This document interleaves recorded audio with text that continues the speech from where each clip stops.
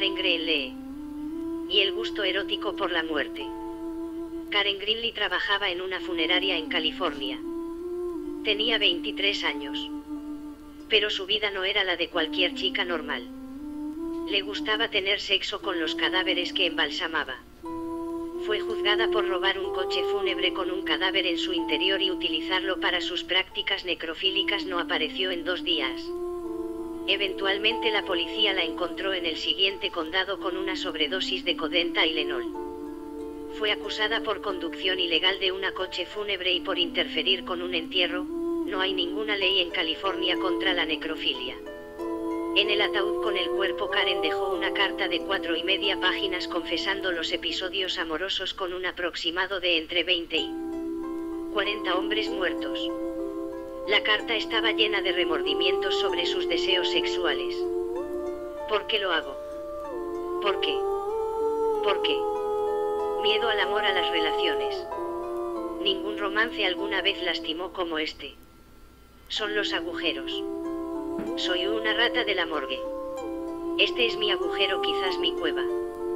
La carta demostró ser su caída por robar el cuerpo y el coche fúnebre obtuvo 11 días en la cárcel una multa de 255 dólares dólares y fue puesta en un periodo de prueba durante dos años con tratamiento médico recomendado.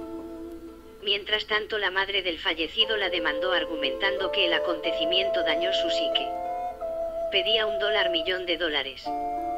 Aunque se conformó con 117 mil por los daños generales y punitivos. La prensa tenía un día de campo. Los abogados se enriquecieron y Karen perdió su carrera y fuente de satisfacción sexual. Karen está ahora más cómoda con su sexualidad. Cuando escribí esa carta aún escuchaba a la sociedad. Todos decían que la necrofilia estaba mal. Entonces debía estar haciendo algo malo, pero mientras más gente intentaba convencerme de que estaba loca, más segura de mis deseos estaba. Y el olor a muerte. Claro. Encuentro el hedor a muerte bastante erótico.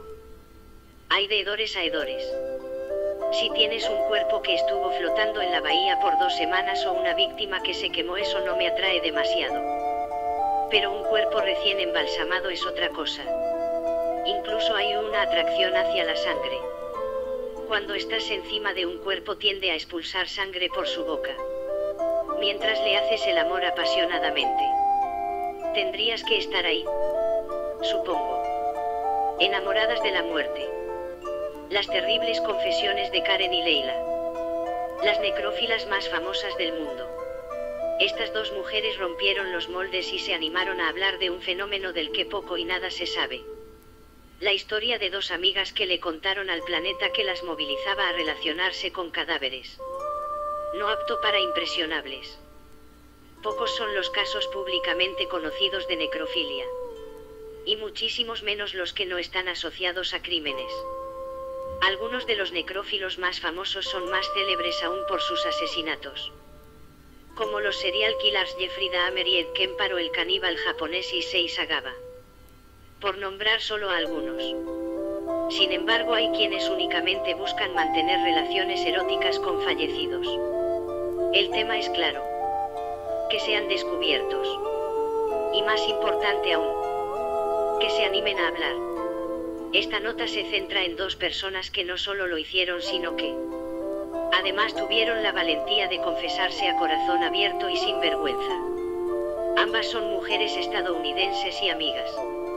Sus nombres son Karen Greenlee y Leila Wendell. La necrófila empoderada. El 17 de diciembre de 1979. Marian González se encontraba junto a algunos de sus familiares en un cementerio de Sacramento, California. Allí esperaba que un coche fúnebre trajera los restos de su hijo John L. Mercure, quien había muerto una semana atrás. El entierro estaba preparado. Solo faltaba que el vehículo arribara desde la casa velatoria Memorial Lawn. Pero jamás llegó. El 19 de diciembre de 1979. El cadáver de Mercure fue encontrado en el cercano condado de Sierra County.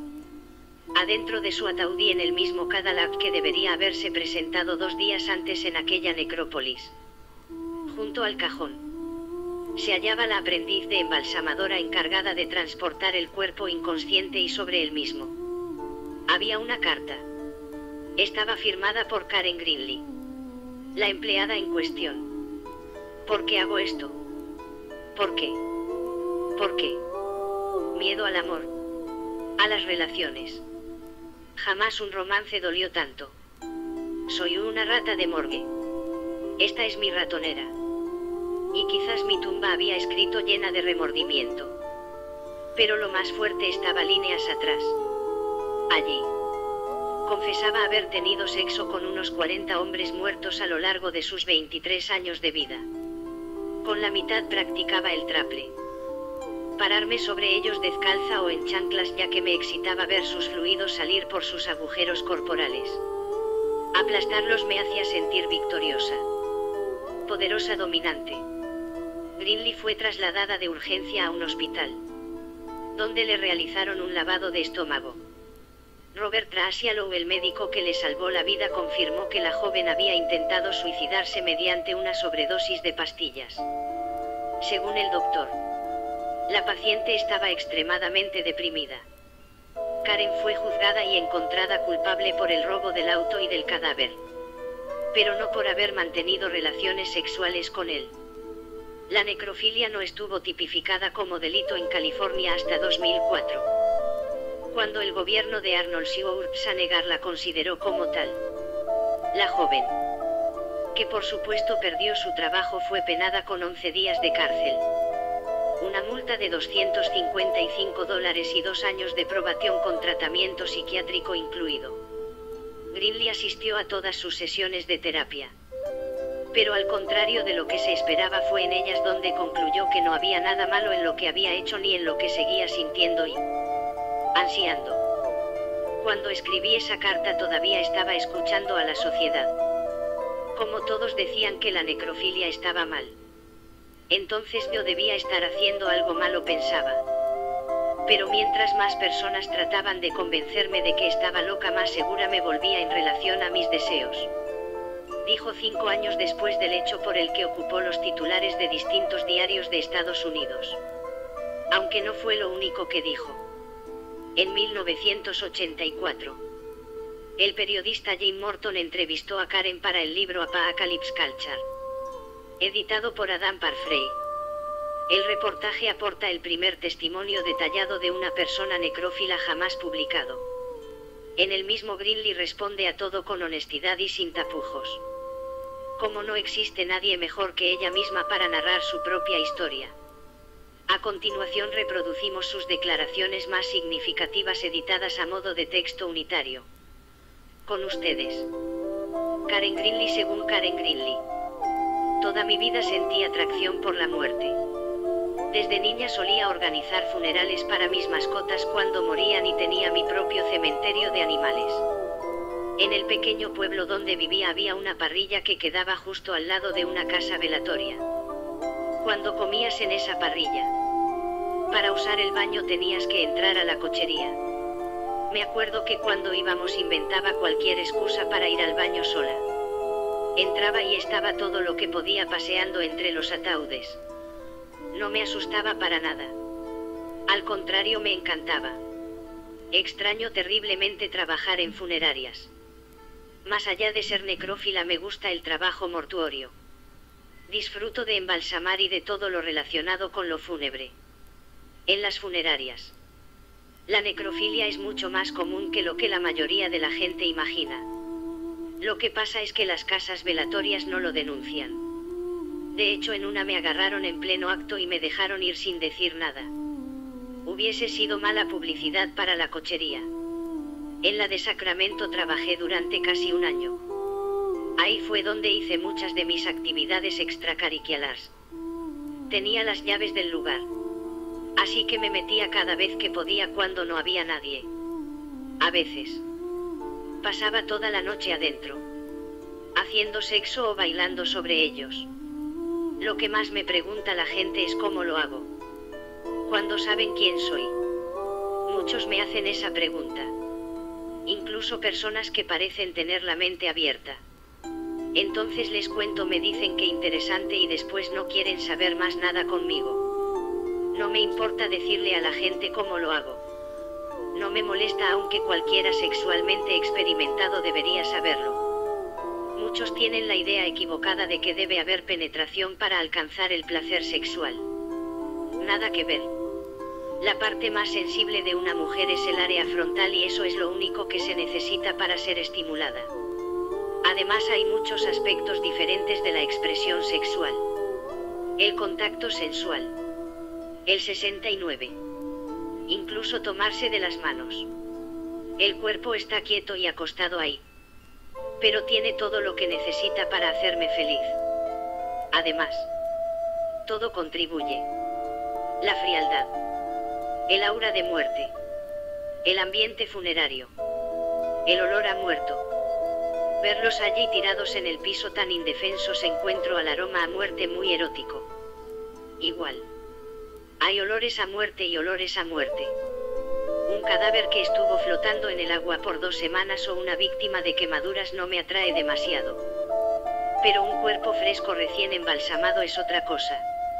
Incluso. Me atrae la sangre. Cuando estás encima de un cuerpo haciéndole el amor apasionadamente, este tiende a despedir sangre y fluidos de su boca. Supongo que tenés que estar ahí para entender de lo que hablo. Tiempo en el que llegué a pensar. Esto no es normal. ¿Por qué no puedo ser como los demás? Atravesé todo un infierno personal de culpa hasta que finalmente me acepté a mí misma y me di cuenta que así es como soy. Que esa es mi naturaleza y puedo también disfrutarla. Me siento miserable cuando trato de ser alguien que no soy. Cuando fui a terapia me tocó una trabajadora social realmente amable que no me juzgaba. Y mientras más hablaba en las sesiones más me daba cuenta que la necrofilia tiene sentido para mí. La razón por la que me mortificaba era porque no era capaz de aceptarme a mí misma. Todavía seguía tratando de vivir mi vida bajo los parámetros de las demás personas. Aceptarme fue encontrar la paz. Todas las personas que siempre trataron de cambiarme solo ayudaron a que me pusiera más en contacto con mis sentimientos. Salía del consultorio del terapeuta y me iba a una cochería. No funcionó amigos. Poco. O más bien nada. Se supo de Karen Greenlee después de que la entrevista fuera publicada. Algunos artículos sobre ella indican siempre en potencial que el reportaje le habría traído consecuencias negativas y que debido a eso se habría cambiado de identidad y mudado a un destino incierto. Lo único que se conoció a ciencia cierta sobre ella fueron dos cosas. Por un lado, el impacto cultural que tuvo su historia. Al punto de inspirar una osada y premiada película como lo fue Kist 1996. Dirigida por Lynne Stopkewich y protagonizada por Maali Parker. Y por el otro su vínculo con la segunda protagonista de esta nota con quien mantuvo una estrecha amistad incluso durante su ostracismo. La novia de Azrael. Leila Wendell conoció a la muerte a sus cuatro años de edad. Estaba acostada en su cama un domingo a la mañana cuando, de la nada, alguien se materializó en su habitación y se sentó a su lado. Tenía el porte de un hombre. Pero no era un hombre. Era un esqueleto encapuchado. La pequeña Leila no se asustó con su presencia. Al contrario sintió una profunda conexión. Una que no había sentido ni sentiría con nadie más en su vida. Con el correr del tiempo.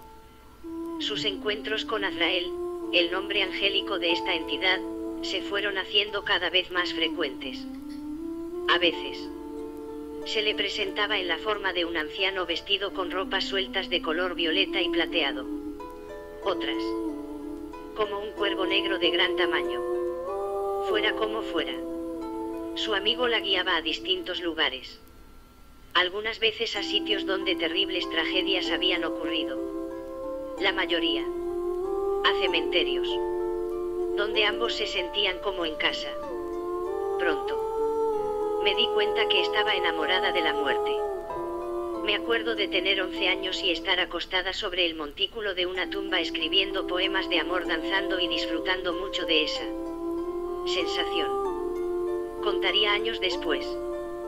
Tengo la habilidad de conectarme íntimamente con la muerte a través de los cadáveres. Esos recipientes vacíos que dejamos atrás cuando morimos le reveló Wendell al periodista Chad Hensley. Durante la extensa entrevista que le concedió para su artículo publicado en Apocalypse Culture 2. La secuela del libro que consolidó la fama de su amiga Karen Greenlee. Como a esta última. El reportaje la hizo conocida para muchísimas más personas. Pero a diferencia de Karen, Leila nunca se resguardó oculta del ojo público. Al contrario, cada vez que pudo expresó con orgullo su condición de necrófila. Otras cosas distinguieron siempre a Wendell de Greenlee, quienes se hicieron amigas y mantuvieron contactos telefónicos y personales durante décadas. Primero su preferencia erótica mientras que Karen se sentía atraída por los cuerpos sin vida de hombres jóvenes recién fallecidos. Leila se inclinaba por los cadáveres putrefactos de hombres sepultados hace años. Mientras más antiguos y descompuestos mejor. Y segundo y más importante. Leila no buscaba un contacto genital como si lo hacía su amiga. Lo de ella. Solamente. Era acariciar pararse sobre ellos y besar. Esa era la manera en la que lograba convocar a su amado Azrael. Según Wendell. Cuando ella se acostaba con un cadáver. El mismísimo ángel de la muerte se apropiaba del cuerpo en cuestión. En la entrevista que le concedió a Hensley. La necrófila narra y describe un encuentro íntimo que mantuvo con un difunto dentro de un mausoleo. Que ejemplifica sus experiencias eróticas con la parca. Alcé la vela encendida que llevaba y me encontré con una figura supina que yacía sin vida en una cama de paja y tierra. Me agaché sobre el derruido ataúd y empecé a arrancar la sábana seca que cubría el cadáver.